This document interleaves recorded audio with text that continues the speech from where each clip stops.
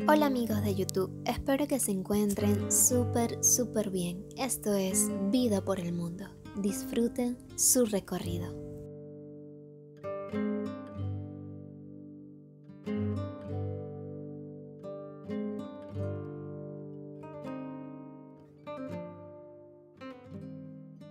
Ustedes están viendo lo que está allá atrás.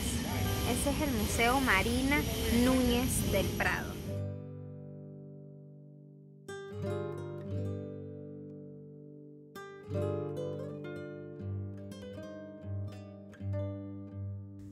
Mariana Núñez del Prado fue una escultora boliviana.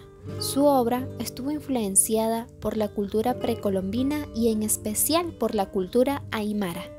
Trabajó principalmente con granito negro, alabastro, basalto y onix blanco, así como con muchos tipos de maderas nativas de Bolivia. Su obra se caracteriza por figuras pesadas, pero con muchas curvas y sensualidad así como de figuras de cuerpos femeninos. En su primera época, su interés se encaminó hacia lo indígena, lo que permitió posteriormente construir un lenguaje acorde a su tiempo. Una obra ligada al paisaje, al hombre y a la mujer de los Andes. En los últimos años de su vida, fijó su residencia en Perú, donde viviría con su marido, un escritor peruano.